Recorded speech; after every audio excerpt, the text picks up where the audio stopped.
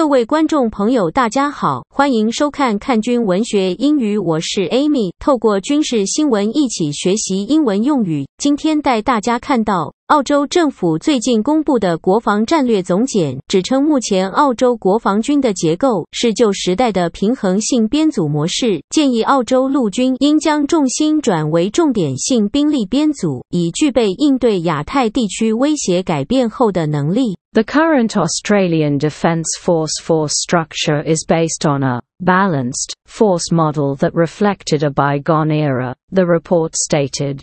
这边我们看到 Force structure 是兵力编组的意思，在军语词典中，目标兵力结构的英文我们可以说。 objective force structure 接着看到 model. 在文艺中是模式的意思， The brothers decided to change their business model. 这对兄弟决定要更改他们的商业模式。